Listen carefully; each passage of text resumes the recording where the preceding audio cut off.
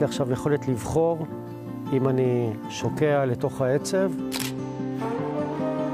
אני מזהה הרבה יופי. מבחינתי מה שקורה פה, עוד פעם, יכול להיות זה מוזר ויש אנשים שלא יאהבו לשמוע את זה, אבל כל מה שקורה פה בחודשים האלה, כצלם, זה גן עדן. ואם כבר הרי אני פה ונמצא פה, אני חושב שזה, אה, לתעד את הדבר הזה, זו הזדמנות אה, פז, מתנה שקיבלתי. אני מעריך ומוקיר אותה.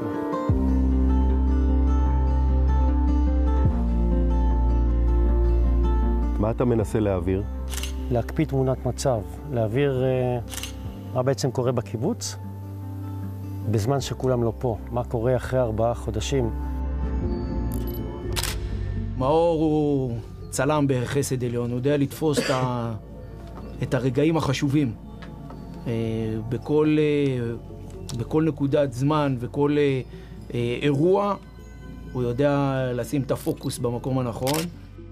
משהו מאוד בולט בתמונות של מאור, זה תמיד הרגש בתוך התמונה. זאת אומרת, אם אתה בדאון רגע, גם אם אתה רגע מתכנס עם עצמך, או גם אם אתה עומד עם מישהו, אז מה שהכי עובר בתמונות שלו זה האווירה שהייתה באותו רגע. זה עולם ומלואו, והעולם נראה טוב בתמונות שלו. חמישה חודשים הם כאן, לילה, יום, שמש וגשם. בוקר טוב, מה נשמע? מה שלומכם? חברי כיתת הכוננות של חניתה נותרו לבדם בקיבוץ שנעזב בראשית אוקטובר. מפחיד פה ביום-יום? עד השביעי לאוקטובר היה פה רגוע. אנחנו קיבוץ אה, טובל בירוק, בשקט, אה, בשקט, ברוגע. אה, לא, ולא היה פה מפחיד. עכשיו, מפחיד פה? יש ימים שמפחיד יותר, יש ימים שמפחיד פחות. אני לא פוחד. אני ישן בבית, אני ישן אפילו טוב. מודע למה שמתרחש סביבנו. אבל אני לא חושב שפחד הוא משהו שמלווה אותנו כאן ב- ביום-יום. הפחד שלנו בהתחלה הוא היה משהו מאוד ברור. אה, במהלך הזמן, התקופה הזאת שאנחנו עברנו פה, אתה יודע לנהל את הפחד, אתה אה, מבין מה הולך להיות, מה... מכירים כבר את הבומים. מתי נשברים? כשהנשים והילדים אה, נכנסים יותר לתמונה. זאת אומרת, במהלך היום, רוב היום אתה, אתה עסוק בשוטף. אבל כשמגיעים שעות אחר הצהריים והערב, ובעיקר סופי שבוע אם אתה פה אה, ולא בבית, שם זה כבר נהפך להיות אה, צובט יותר. יש נקודות שהן אה, אה, טיפה מורידות אותנו נמוך כאשר אתה שומע את ההצהרות בבית, שהוא לא הבית, זאת אומרת למקום שאליו המשפחות פונו. אנחנו בעצם נמצאים פה בבית. אה, והם לא בבית, המשפחות שלנו.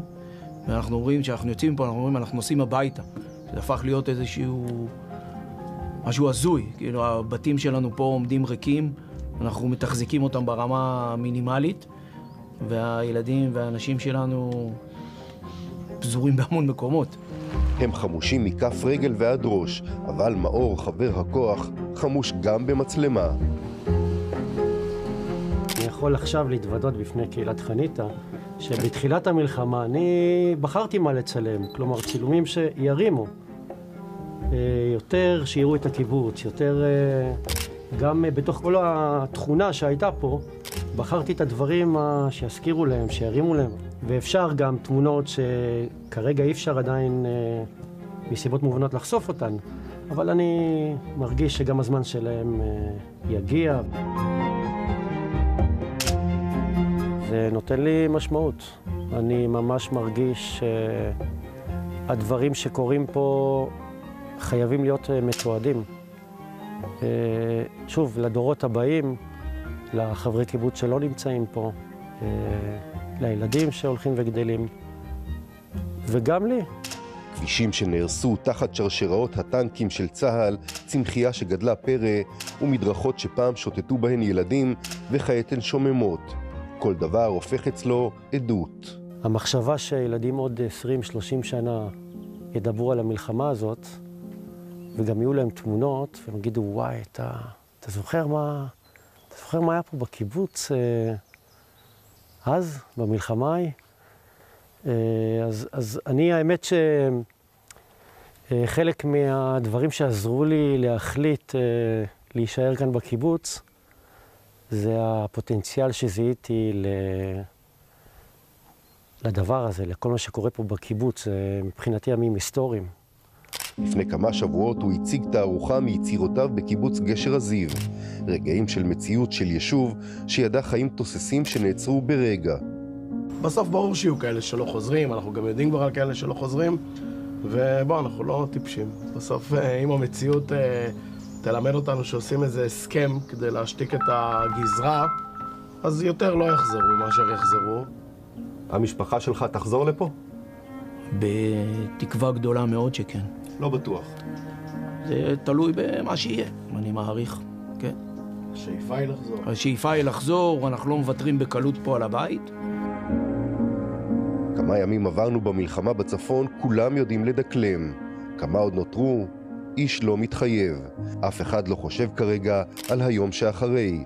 בגבול הצפון חיים מדקה לדקה, מיום ליום, וכמו בתמונות של מאור, לזמן אין משמעות. הוא עצר מלכת בשבעה באוקטובר.